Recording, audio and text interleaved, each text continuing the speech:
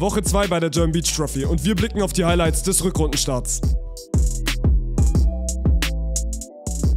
Den Anfang macht Felix Friede. Mit gesundem Ellenbogen zurück zu alter Blockstärke und auch wenn es am Ende nicht für den Comeback-Sieg reicht, den Platz in unserem Highlight Reel hat er sich redlich verdient.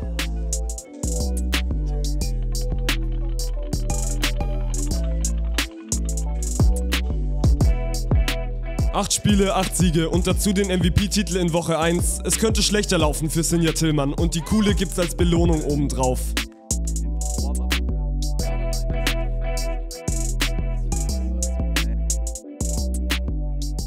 Wir springen aufs Treppchen und präsentieren euch zwei neue Gesichter in Düsseldorf. Nach überstandener Quarantäne und negativen Corona-Test haben es Yannick und Erik dann auch mal geschafft.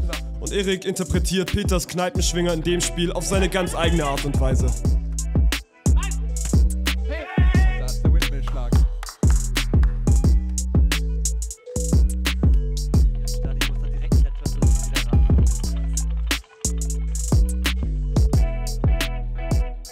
Vom gebürtigen Berliner zum Wahlberliner und in dem Ballwechsel zeigt Max Bezin einmal mehr, was alles in ihm steckt. Der erste Kontakt gegen Nates ist überragend, was man von Nikis Zuspiel nicht behaupten kann. Gibt die zweite Chance, weil Max auch den absteht und dann geht's über die gute alte 6 in Richtung Highlight Reel.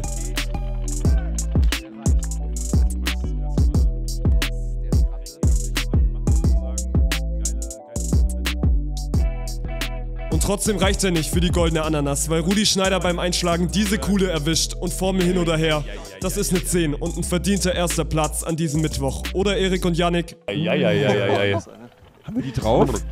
Ähm, Wir haben wir nicht drauf. Alter Wenn Schwede. euch der ganze Bums gefallen hat, lasst gerne ein bisschen Liebe in den Kommentaren da und schaut euch nochmal die alten Highlight-Videos an. Spoiler, die waren auch nicht so schlecht.